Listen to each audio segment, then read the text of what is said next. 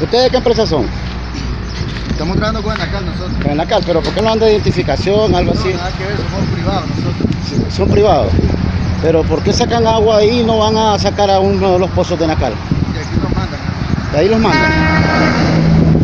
Julio, fíjate que yo no puedo decir cómo se llama. David Quintana, dígame. David Quintana. Sí. Julio Mendoza, aquí era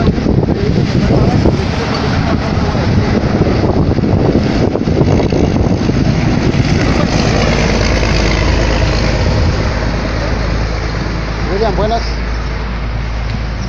Wi- William, te, saludo David Quintana, soy periodista.